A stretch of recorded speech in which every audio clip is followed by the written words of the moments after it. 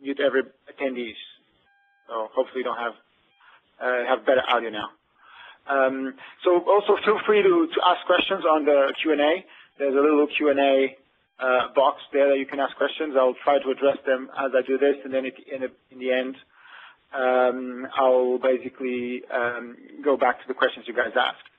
So just a, a quick, uh, where's the next slide? Here Overview of security innovation. Uh, basically, we are uh, a company focused on application security. Um, we've been around for quite a while. Um, in some ways, we've done quite a bit of products and services and, and training in the past, and, and, a lot of the focus now is on the, the e-learning uh, part of the of you know application security. We have a couple of interesting products coming along, which I'll, I'll talk about in a bit. And we also have a pretty good application security team who does source, you know, basically security analysis. And we have uh, a really powerful crypto uh, product, which is kind of outside the scope of this, but it's kind of one of the interesting things that we also do here. And we kind of work with a lot of companies to basically help them to reduce their vulnerabilities and embed application security into their software development lifecycle. So kind of what I want to do here is uh, I'm going to go to kind of how you think about security. Uh, I want to cover kind of the OWASP top 10 because I think it's a it's a really good um, overview of the type of security issues that exist, and, and it's something that you guys should really be kind of aware of. And if you don't know about it, then you know you should definitely um, be um, you know getting your head around how it works. And it's kind of the the, the sort of uh, great um, kind of resource that you can give on to all um, your developers. And then I want to do a whole bunch of demos, some focus on web application uh, security, and then uh, that's it. So the, the first thing uh, I kind of want to think about application security is um, you have to learn as much as possible about what's being used. Right? In, in some ways, the, the, one, of the, one of the differences between application security and, and network security is that you have to understand the application, which actually means that you have to understand the code, which basically means you have to understand the frameworks that people are using. You, know, you cannot have uh, a decent conversation with the people on the other side if you're doing application security if you don't understand the technologies and the frameworks and basically the world they live in. So you kind of have to learn as much as possible, and it, it, in some ways it's a never-ending race. You know, you always have to learn because there's new things coming on, new frameworks, new languages, so you kind of have to uh, always keep up on that one. And of course, new vulnerabilities, new exploit techniques, etc. Um, you also have to kind of understand the attack surface, uh, and, and, this is sort of very important because um, the attack surface is kind of what makes you bring some sanity to the amount of stuff you need to analyze. Because in some ways, from a security point of view, we kind of care about the stuff that can go wrong. Um, and, and, in some ways, the attack surface um, gives you that right? I, I just spot a little spelling mistake. So it's not the assets, it's the assets, right? The next one is basically what you want to do in some ways as part of your mapping the attack surface is you are also um, finding the assets that matter to a company and finding the assets that basically you need to be protecting. Again, this is very relevant because ultimately the assets is what matters. You know, like you, you, maybe you need to protect some credit cards. Maybe you need to protect some user information. Maybe you need to protect the fact that the information needs to be available. Those are all assets that um, you need to be, you need to capture, you need to understand.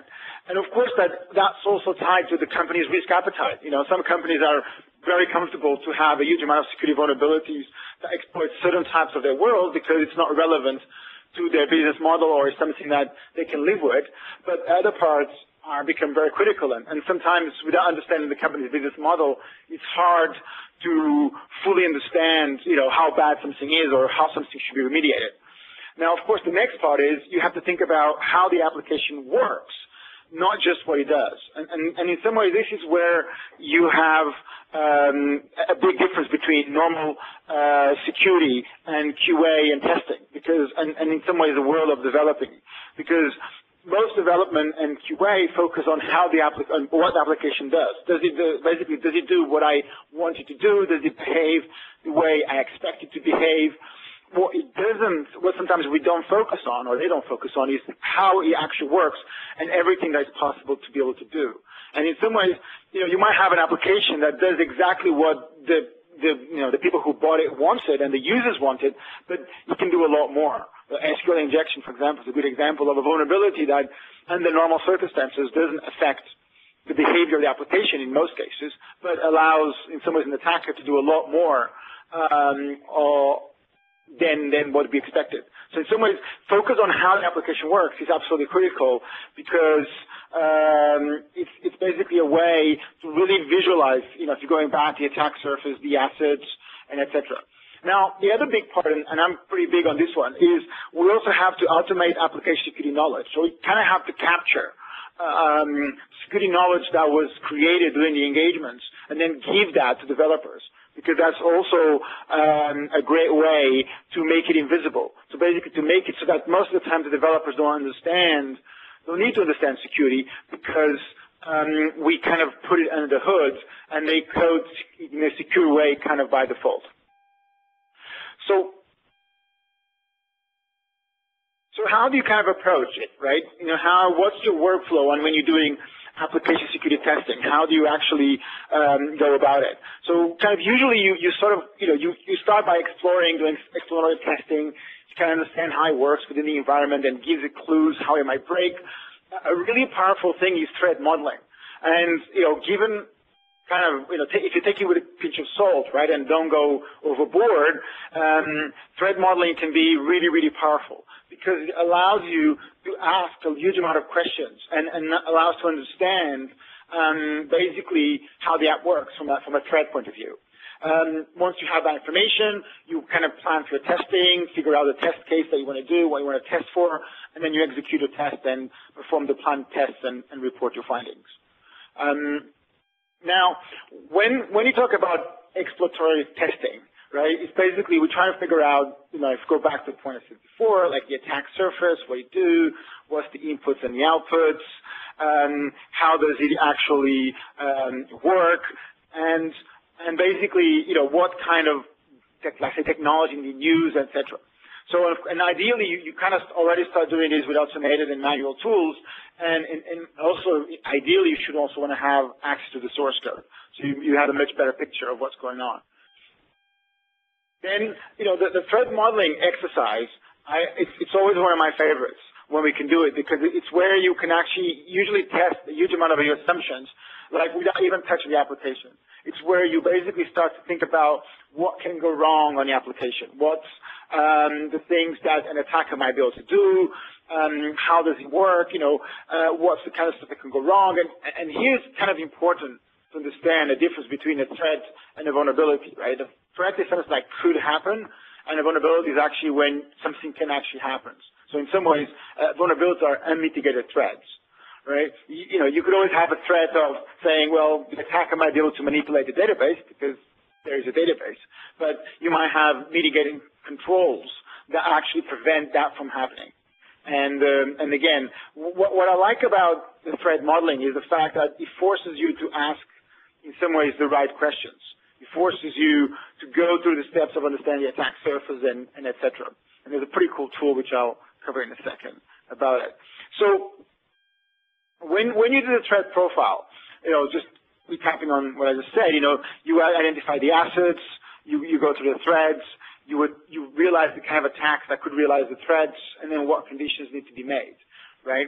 And, and, and making a, basically a threat um, kind of model based on the attack against makes it, the whole thing much more realistic. You know, like the way I look at it is if you spend more than a day or two doing a threat modeling, you already lost the plot, right? You, you're mapping far too much. You're going far too deep, right? Uh, you know, you, cause you could basically go crazy, right? You could spend a week doing a threat modeling. But I, th- I think that the, the key point when I look at threat modeling is it's almost to understand um, how the app works. And, and actually another big nice thing is I also use it to understand how much the developers and the people on the other side understand about the security profile, which is also very interesting. You can't really document this, but you know, by the way people answer, by the way people kind of react to certain questions you make, you get a really great feel for how much they, they thought about security, how much they consider it, if there's anybody who actually has gone through the steps of, you know, basically building this, a security app, a secure app on the other side.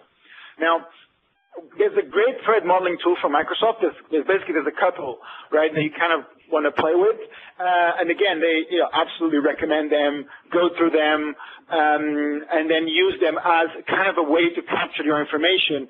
And, and also, because some of them are, you know, have like an XML uh, schema, you can also use that kind of as a way to um, share information. And there's a couple new open source threat modeling tools appearing up, so I would definitely also recommend them. Now, when you look at the execution, right, in terms of how you actually do it, there's kind of two worlds. We have a world of tools, of automated scanners, where you kind of press a button and go, and, and you can use it to for testing known vulnerabilities. And you can also have manual testing or tools that help you um, on on that manual test, right? Um, in some ways, it's kind of like you know, if you think you can buy a tool and press a button and, and get really um, valuable results, then you know you're living in a kind of a dream world, right? That that kind of depends on a magical combination of events where people actually code the way the tools expect you to code and the applications develop on the way the tool vendors expect you to, to code, which kind of never happens in the real world. Now, does it mean that the tools don't, don't have value? Well, absolutely not. I, I think tools have spectacular value, but you need to customize them. You need to basically find ways to customize the tools, find ways to basically almost like leverage the human intelligence that you can apply to them. And in some ways, that's how you can scale. You really scale if you can kind of merge these two worlds, right, and, basically be able to use these kind of tools from proxies and, and scanners, etc., with, with human intelligence, so that you basically get like the best of both worlds, where you kind of are able to capture uh, what I like to call application security knowledge and workflows, where basically what you're really doing is you capturing um, the workflow that was created to get to a particular point, to get to a particular um, type of vulnerability that um, the developers, you know, that was created. So, you know, in some ways, the way you do this, you, you kind of have to capture scripts, and, and that allows you to replicate, debug, retest security vulnerabilities. It's really powerful for developers because they can replay it, they can use to understand it. And also what you do is if you can put them as unit tests, that can go straight into the SDL namely during the development and QA phases. Right? So that's also pretty powerful. And, and then that also allows developers to work with security teams so that, you know, you kind of better, you know, you build better application visualization tools during the engagement, and then you give them to developers. That's also something I'm pretty big on because I really think that um, when we do a security engagement, we build a huge amount of tools. We build a huge amount, of, in some ways, of knowledge that we capture. If we can codify that knowledge and give it to developers, the developers love it because they have the needs that we do. You know, a very simple example is give me all the URLs of an application. Like how can you even calculate the attack surface if you don't know the URLs? If you look at web services, is give me every single web service call that exists. Give me a mapping between the web services and uh, the authorization rules. Right? All that stuff is basically stuff that the developers also need, that the security consultants need themselves. And I'm going to show you guys some examples and, and how actually that was also done um, in, in practice um, during um, you know uh, an engagement which I can show some details on.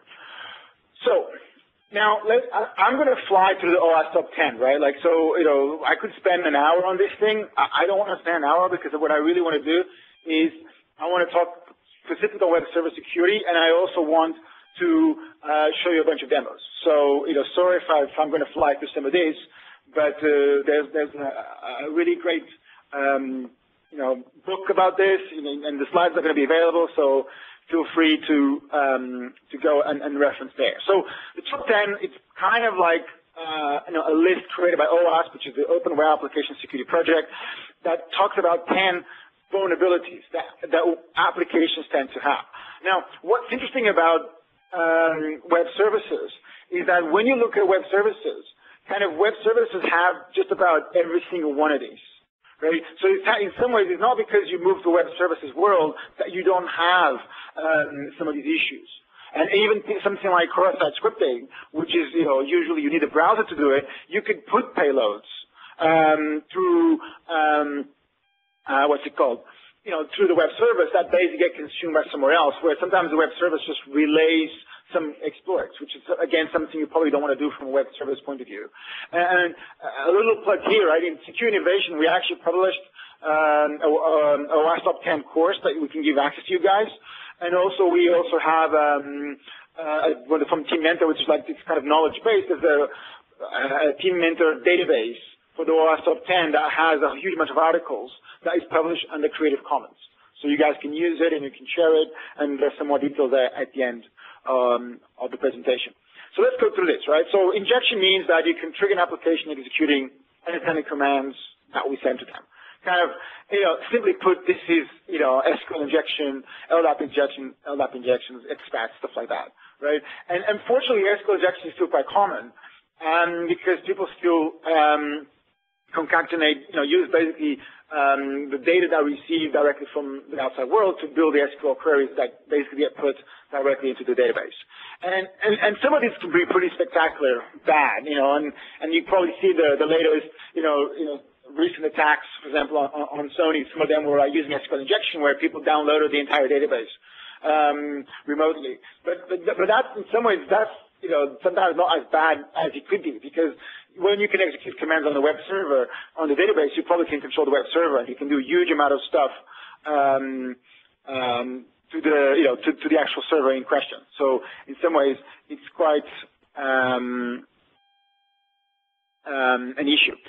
So now, so here's a, here's a good example, right, of, of SQL injection, right? So basically you can see that, you know, we're using the data that comes from the outside world to actually, um, to build a query that is then executed, and you kind of have these patterns in, um, in, in, all different places. You can have this for, if you do, for example, um, step on the operating system. You know, basically this allows you to uh, execute commands on the operating system. LDAP is when you're actually hitting a, an LDAP database, etc. Now the second one is cross-site scripting, and, and kind of cross-site scripting is, you know, the way I look at it is kind of this, one of the sleeping giants of of application security because it's one of those that people kind of um, tend to sometimes ignore and think it's not as bad.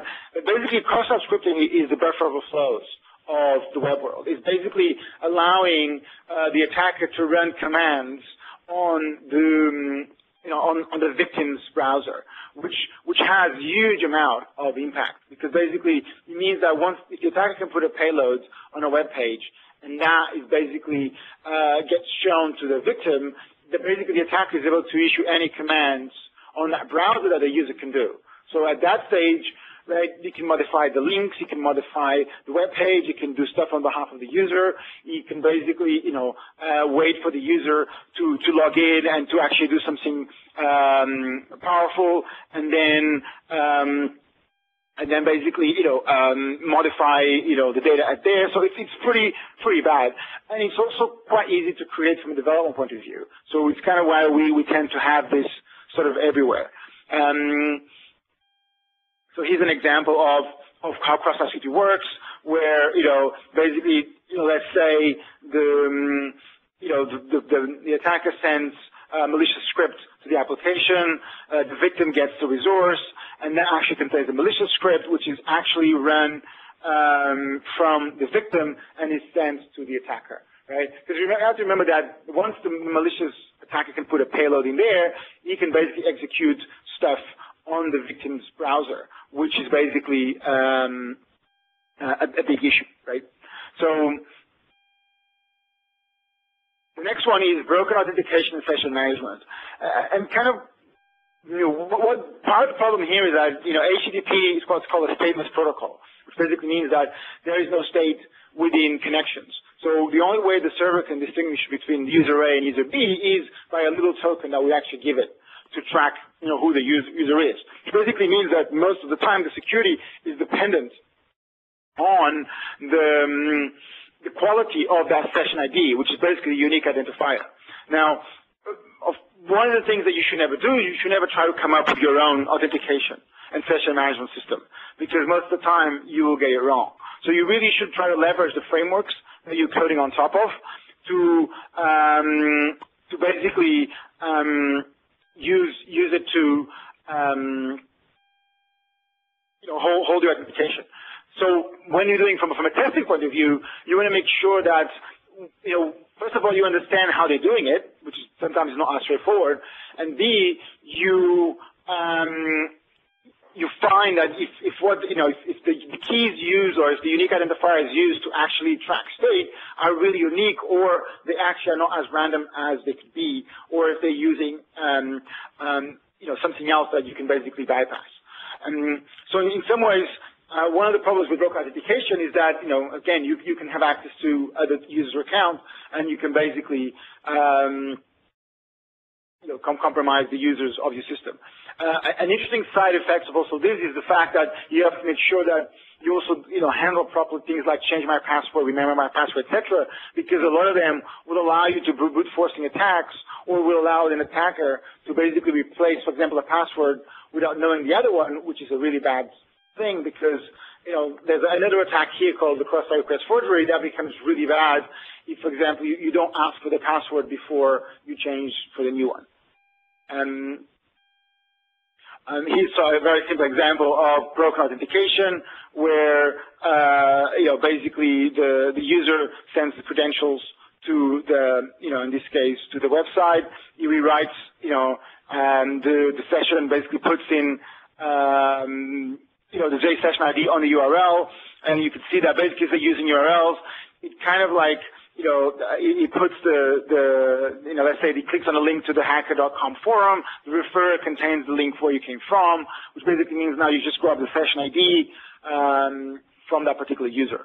Right? This is a good example where you don't really want to store your cookies, or sorry, your, your unique identifiers on URLs because they tend to leak and they tend to basically uh, be easily uh, capture from all sorts of different places. So the next one is insecure direct object references. And now this is a it's, it's a it's a pretty pretty tough one because what, what, you're actually doing here is basically you you are you know I'll say the developers are, are using object references that were given to them by the attackers. Uh, a very a very good example of this is, for example, if if you ask for a user for a, an account number. So you basically say, okay, I have, you know, I want to show you your accounts. Uh, give me your, uh, give me the account number that you want to see. That's a really bad idea because what, basically if the attacker is able to basically say, okay, here is another account number, now you basically going to have to make sure that that account number um, is not, uh, doesn't belong from, from somebody else. And, and you know, a much better way is to only say you have three accounts and basically, you know, which account do you want? Do you want account one, two, or three? So from a from a testing point of view, when you're actually trying to break an application, one of the things that you always, you know, kind of go laser sharp on is on, you know, the kind of data that is flying back and forward the application. So if you see unique identifiers, if you see things like account IDs, you can see like internal references, file paths, even, you know, DLLs or URLs, you kind of know that that could be a potential um, source of, of vulnerabilities because it means that the server side is asking the client, which of course the attacker controls, uh, what internal resource does he want to receive. Um, and basically, you know, in fact, there was, I think, again, a recent vulnerability where somebody was able to access uh, you know, a website all the accounts by simply modifying the ID of the account that was being viewed, right? And this can be pretty bad if you have, you know, pretty, you know, sensitive assets on the other side, and basically, um, you you have a situation where the, um, you know, you know, user A shouldn't be able to see stuff from user B. So here's a simple example, right?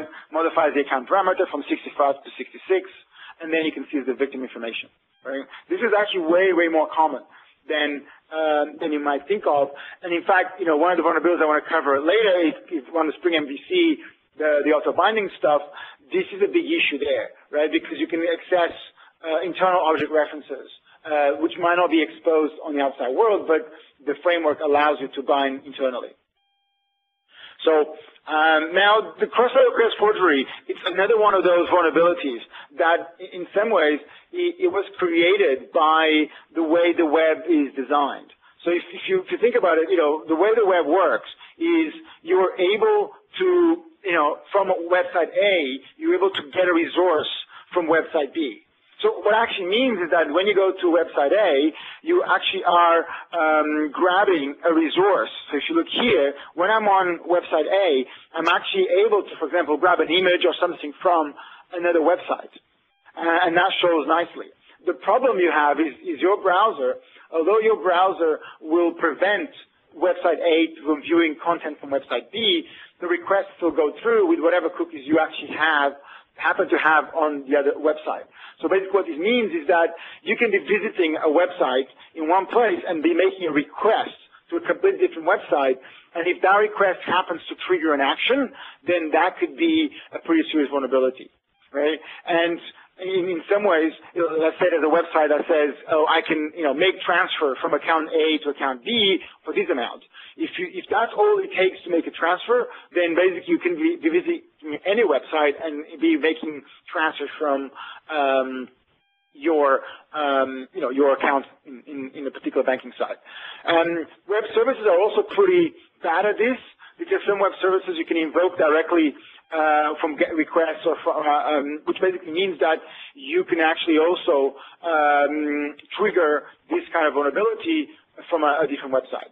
And, and, and, and, this is a tough one because in order to protect it, the only really proper way to protect against cross-site request forgery is um, is when you are able to um, provide a, a, a, kind of a token that um, you give the users um, before they do an action. So it, it's kind of tricky because if you don't see these tokens flying back and forward, you kind of know that the application most likely is going to be vulnerable to uh, cross-site request forgery. Um, again, web services are, are vulnerable to this. Uh, well, some of them. Some, some, some try to protect this, but you know, and, and then a lot of it actually depends on the browsers uh, to enforce the, security. Now, um, another, another one that you know still affects a lot of people is, basically security configuration.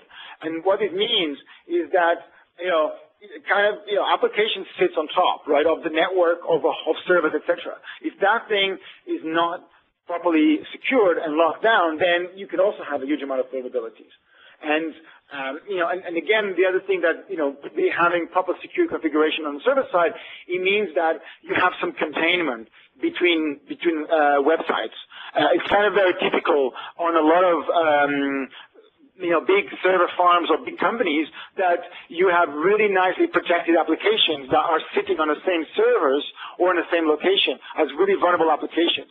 And once those our applications gets compromised, let's say a marketing website or some brochureware or some, you know, um, you know, internal thing that happened to be exposed, then you can go from there and hit the main website. So again, it's kind of crit critical that application, you know, you know so security um, is also applied to the server, to the services running on it, to you know, lock it down with firewalls, etc., to make sure that uh, the impact of a compromise is also um, quite, you know, limited. Like, for example, on this example here, you can see that, um, you know, the attacker, right, you know, once, once he's inside, he can hit all sorts of other things because it's actually uh, able to uh, access it. And so I would argue that, you know, basically some of the development systems should be really well protected, right? Your QA servers should only be available to QA people. The development should be locked down, the test, and then also the source control, absolutely. Your, your crown rules. you know, if you allow you know, if you don't protect your source control systems, then basically that's the best place to put backdoors and to attack your, your company without you even noticing, right? And, and with the attacker being able to basically say it was not him because it's done maybe in the name of somebody else. So uh, a kind of a common vulnerability, especially when um, you know, basically people try to create authorization systems based on URLs, is, is this kind of concept of, um, of, of URL access. So basically the idea is that you're using an authorization model that is based on URL. So depending on which URL you hit, depending on your privilege, you have access or not. This is kind of uh, really hard to do unless you have really good visualization.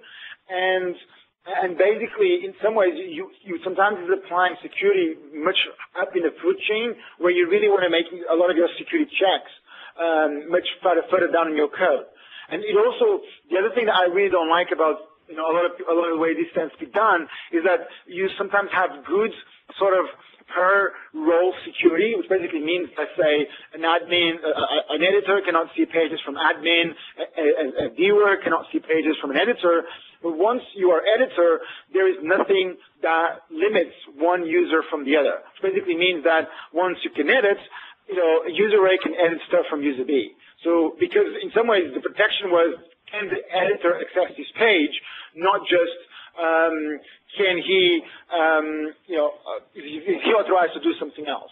So um, the other thing that is also important to on, on the real access is, is sometimes there's, there's a lot of security that is built by obscurity, which is kind of where you have security that um, basically uh, what you do is people say, well, this link is never connected to the outside world, so it's okay because nobody's going to find it. You know, course, that there's tools to do that. There's ways to figure out, and also you, depending on having nothing that leaks anything from your source code, because what it does, you can try to find what else exists in there.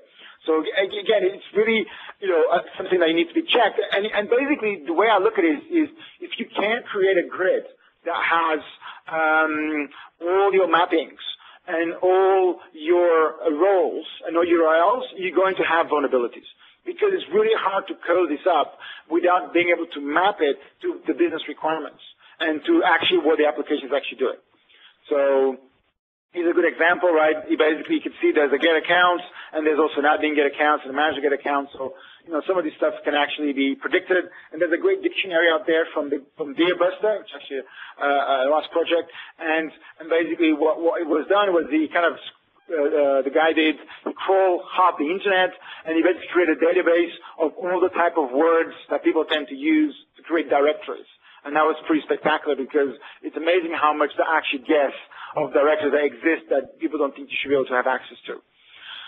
Another one that, you know, can beat bite you pretty hard is invalidated redirects and forwards, which basically is a case where uh, a, a, website redirects you from one side to the other, um, which kind of can can basically um, allow could allow an attacker to send victims to a website that they control.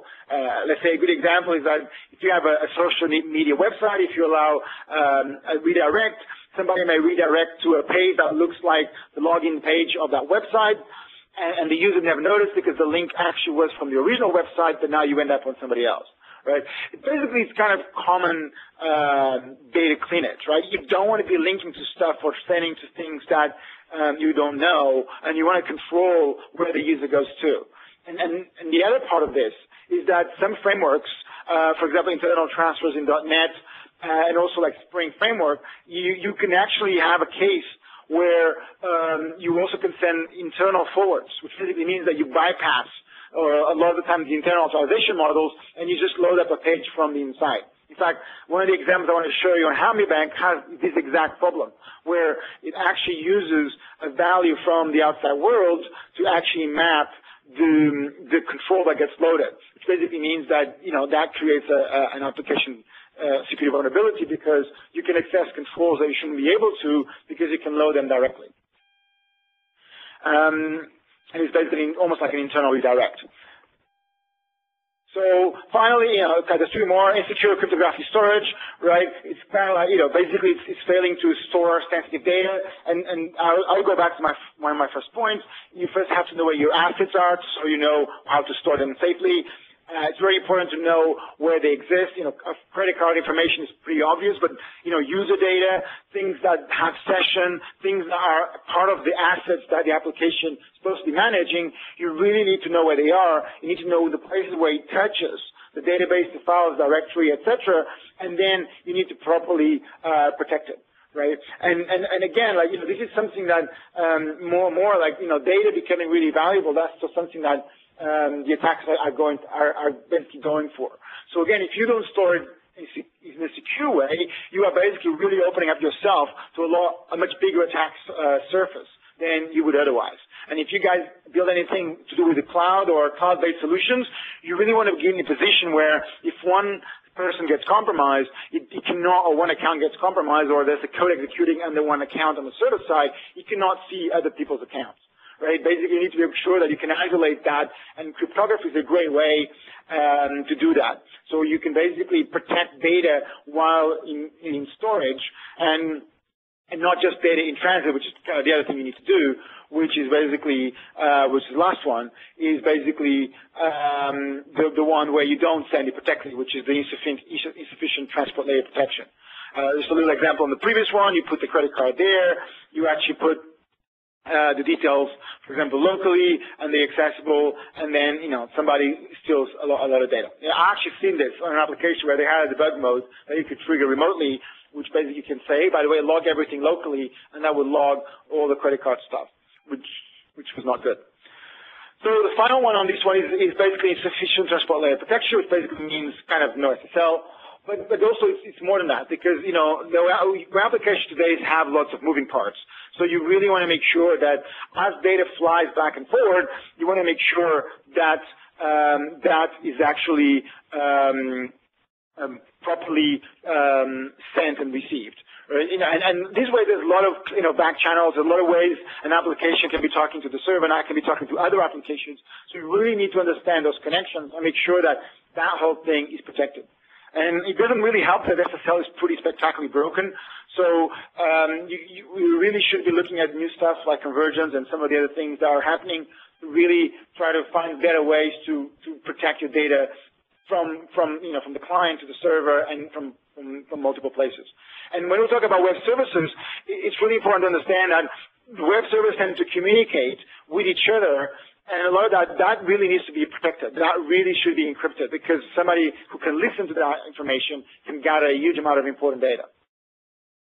So uh, here's just a quick thing, you know, basically the external victim, you know, custom code backend systems. You can see that there's all these different places where you can actually be trying to grab the data uh, from the, um, you know, the, the, victim.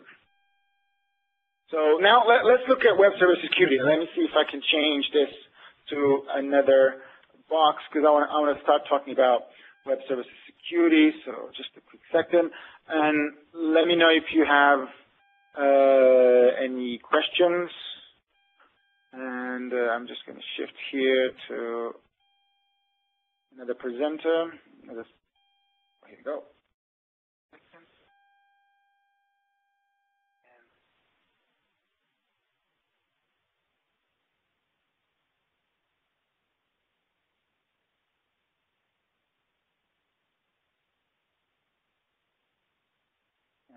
And share my desktop. All right. So hopefully you guys could see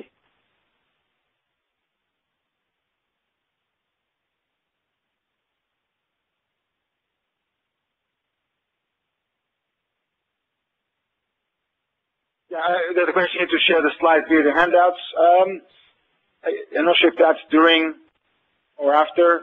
Uh, we will um, yeah, we'll, we'll, put this, basically we'll send an email with, with everybody or, or put available the, the, email to download all the, um, the, the, slides. So, um, Maureen can, can send you guys and uh, the slides. I'm not, not, sure if you can put them available already during the, um, this, this session, but if, they, if we can, then we'll, we'll put it available for you guys. So, okay, so there you go, you can see that. So, so basically, you should be able to see um, my desktop here, and here we go. All right. So, so what, what I want to show you, you is, um, let me see. Hope, hopefully, it's not too big um, of a screen. You guys can see that. And um, uh, what, what, what, I want to show you is, basically I, want to now start talking a little bit about web services security, right? And and basically, and, and the thing about web services is that you know a lot of the stuff I talked before was uh, was to do with web applications, and and web services tend to just be you know a kind of interface that people connect to. Tends to be you know some kind of uh, website that it kind of exposes information through. And, and what's important right, to see is that basically the web services, if we look at from an attacker's point of view, right, the, the web services have basically all this, uh, you know, it, it, still has a lot of the same issues, right? So if you guys can see here, so I hope you guys can read that, right? it, it still has things like AJAX injections, ciphertext, plain text attacks, command injections, cross-site request forgery, cross-site scripting, uh, file name, phishing, stiff memory, uh, SQL injection, statistical URL directions. So a lot of this stuff also applies to the web services, right? And, and it's kind of like, sometimes it's not as obvious because the web service uh, tends to sometimes just look like this.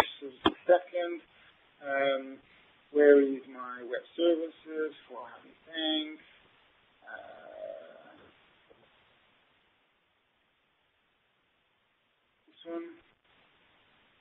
So, no, no, sorry, not that one. So usually the, the web services will will kind of tend to look like like this. Uh, one. I got it here just a second. Here we go. Yeah, I need to start it. Sorry. It helps if I have to start the web services. All right. So, so the, the, the thing you guys have to get your head around the web services is the web services are most of the time are basically an API to your code, right? It's basically it's like a motorway to your your application, which basically introduces uh, a huge amount of vulnerabilities because most web services were not designed to be exposed to the outside world, which basically means that they, they have functionality that was not designed to be exposed to um, a malicious attacker, and basically, you know, introduces situations where um, oh, here we go. Sorry, um, that you know you have all sorts of vulnerabilities that now occur. So if you look, so this is Hacme Bank, right? So web services kind of looks like this, right? Which of course is sort of the first public vulnerability is because you don't want to be giving, in some ways, the attacker on on a plate.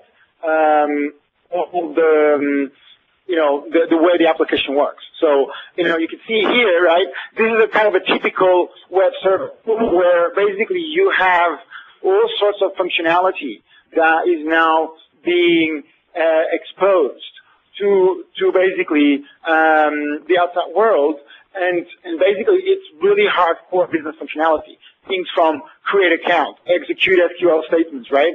Uh, loan rates, etc. Like clearly this one is an admin one, right? You know, if an attacker can actually, you know, invoke the execute SQL query, that's basically SQL injection, right? And you can see transfer funds, request a loan, etc.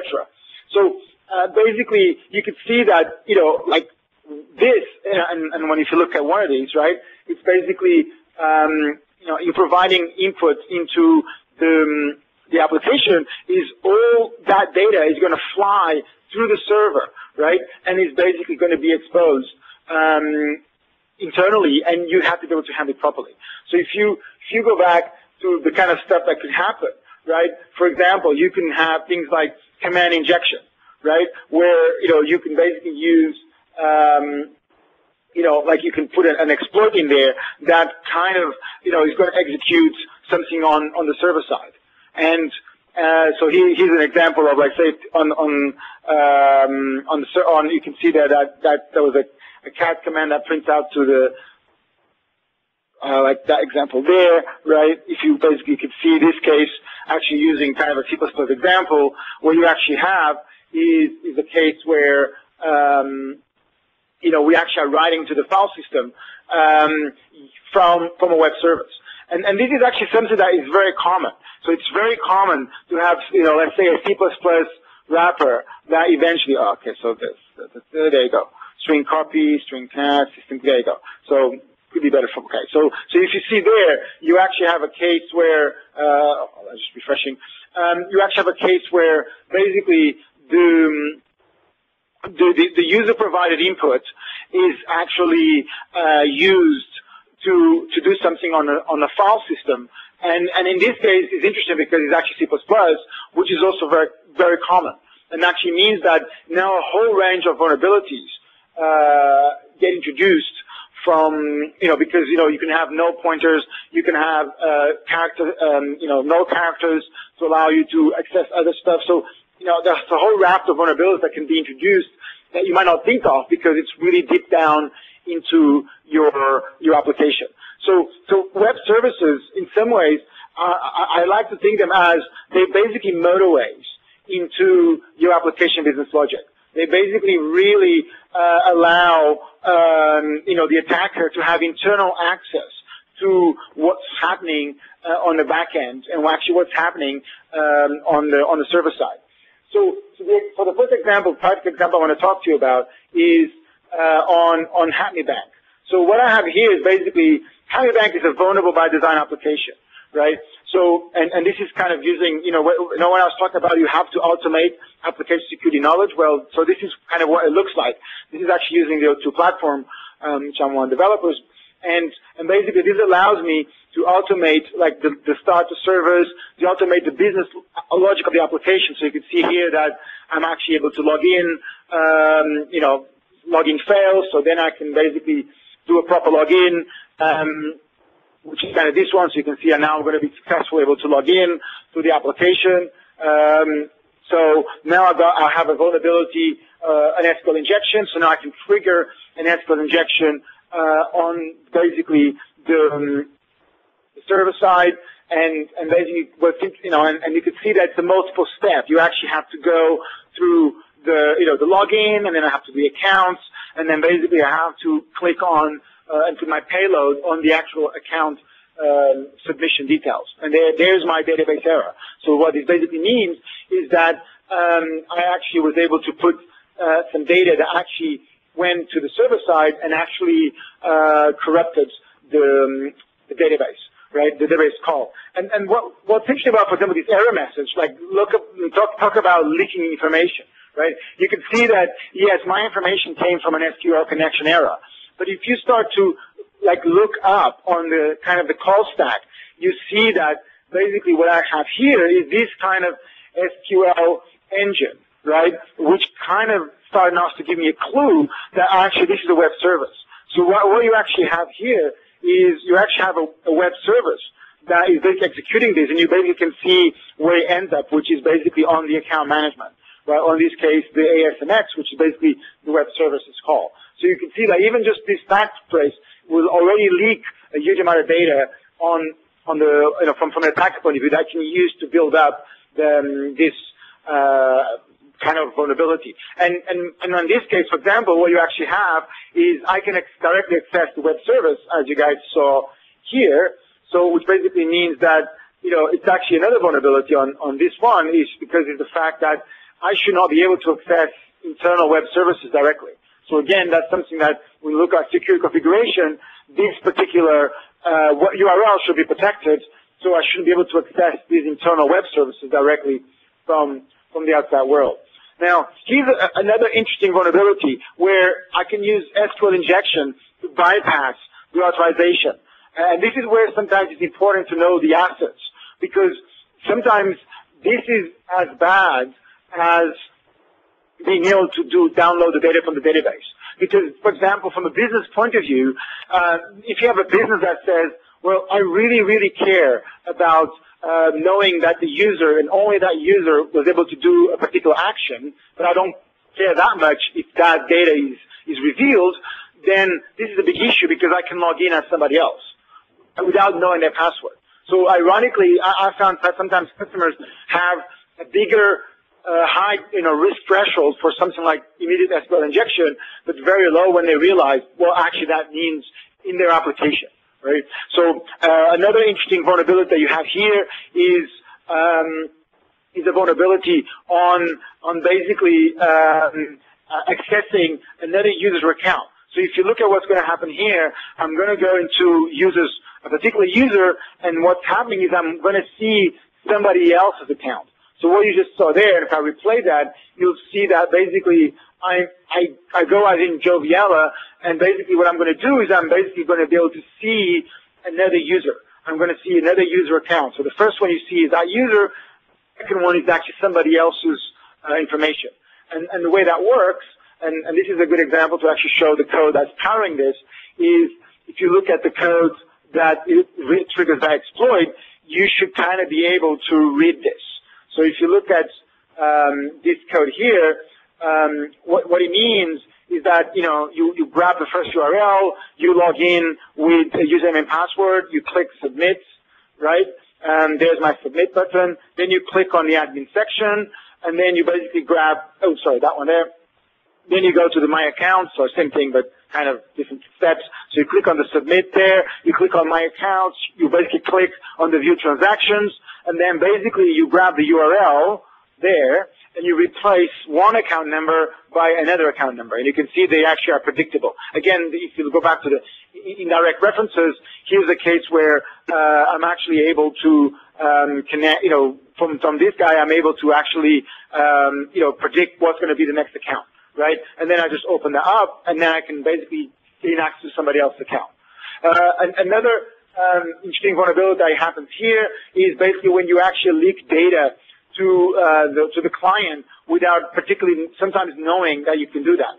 So here's on this example, this example where the animation is going to play and basically go to the ad and figure out what is the admin password for the uh, the admin section. And the way that works is basically you can see if I replay that, you can see that you know I go to the, the login page, I log in, I go to the admin section, and then there's a, a challenge, basically means there's a unique response, and I'm able to log in. Uh, the vulnerability on this one is that the, the actual um, response is leaked uh, into the view state. So if you look at the exploit, the exploit is here, where basically after I click on the admin section, I'm able to go into the view state, and then I, gra I grab the 12th value, and then I actually put that as you know on the data, and I just submit it, right? So uh, here's a good example of the kind of, of things that you can basically do um, with, um, you know, when, when you automate the, the, the security, um, you know, exploits. And this is a good example of a kind of vulnerability that has multi-steps that you actually are using assets that the application leaks to access. So what's interesting about this is now that we have access to the, the admin pages, right? So here's an example, right? So he's, here's the admin pages um, for, for the server side. In some ways, the, the, the interesting question becomes what happens if a normal user is able to, to basically access an admin page. So basically, the question is, what happens if I, as a normal user, um, go here, right, uh, log in uh, into Happy Bank, and then and then basically, um, so if I if I log in using the SQL injection, right, just to make it faster, right, so you can see I'm logged in as a user, but what happens if I, can you see that function welcome at the top? What happens if I replace that with, uh, the, for example, an admin control, right? So now what happens, you can see that I was actually able to, okay, just a second, uh, let's again, I think because I, I shift from localhost to, uh, okay, here we go. So, so you can see that now you know, I'm still logged in as a normal user. You can see that I don't have the admin section, which you can see here. You can see when I'm logged in as an admin, you can see that there's a little admin section there. Um, basically, what I can do here is basically uh, access the admin section directly from here, right? And, uh, and again, this is this is a typical common vulnerability because uh, you are able to uh, access, you know, an internal function directly from uh, a, a user base. And, and, and the, the part that I want to kind of trickle all down to the web services is that a lot of this functionality is triggered uh, from the web services. So you have to be able to build things like this. So well, one of the things I've done when I was part of you know, SI is I worked on TeamMentor, right? And one of the things I've done for TeamMentor is I built uh, a unit test framework that was actually you know, basically designed from a, secure, from a usability point of view, that allowed me to test security. So here's, for example, what I mean by this. It means that I'm able to run unit tests that tests for all the security of all the web services that exist on TeamMentor. So all these are web services that do stuff. And then you can see that I can test them very quickly with uh, a normal user, and and also I can test them as as basically um, an anonymous user. And, and what that means is that I, I expect the anonymous user to look like this. because I expect the anonymous user not to be able to do anything here, and I, the way that I expect an admin to be able to do. And, and what's important is when you take this to the next level, one of the things that you have to be able to do is you have to be able to build mappings like the one I'm going to show you next.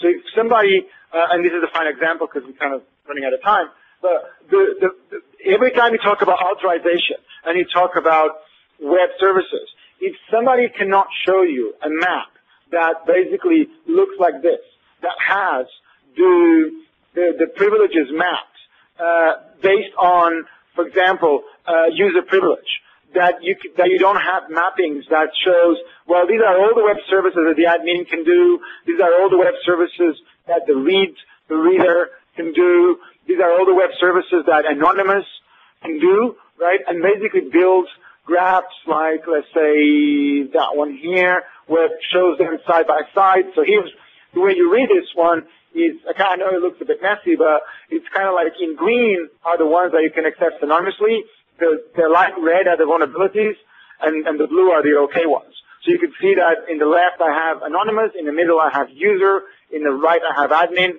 and basically means that the normal user can access one of those functions that I wasn't expecting to. So if you if somebody cannot give you this, basically where you have a mapping between all the functions and all the roles, then you're going to be in trouble because it's going to be really, really hard to actually um, build basically, you know, uh, develop securely, and it's going to be really hard to basically protect everything. Okay, so let's go back into uh, my slides, and hopefully you guys can see my slides now. Um, see if I got that. Yep. So let's just wrap up now. So basically, I've done my demos, right? You guys seen the demos, um, and so here, here's kind of the conclusion. Um, so I go back to, to my first point, right? Really learn as much as possible about technologies, understand how the application works, understand the attack surface, find the assets, not the asserts, uh, map the company risk profile, focus on how the app works, optimize security knowledge, and then find ways to make it invisible to developers. And uh, here's like a presentation I've done last week in Brazil, or two weeks ago, which I really think is a, I really hit a nerve on developers, and, and basically it's about how to make security invisible by becoming developer's best friend, where I try to present it from a developer's point of view. And um, basically, uh, you know, a little thing about security innovation. We got TeamProfessor, which are e-learning. We got a TeamMentor, which I'll show you a bit. We do code review and pen testing and application risk management. So again, you know, we kind of are here to help. And, and basically, there's, you know, if you ping the, the guys from Team from side, you know, there's like a couple of, there's the, the, the free OWASP version that you can connect, and they also will give you a free e-learning course if you can either play with it and basically, um, uh, you know, have a go at and learn about more about the OWASP Top 10. So, uh, any final questions? Uh, actually, can I?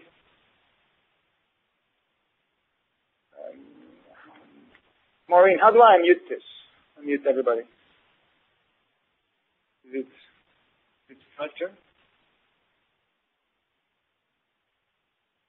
No.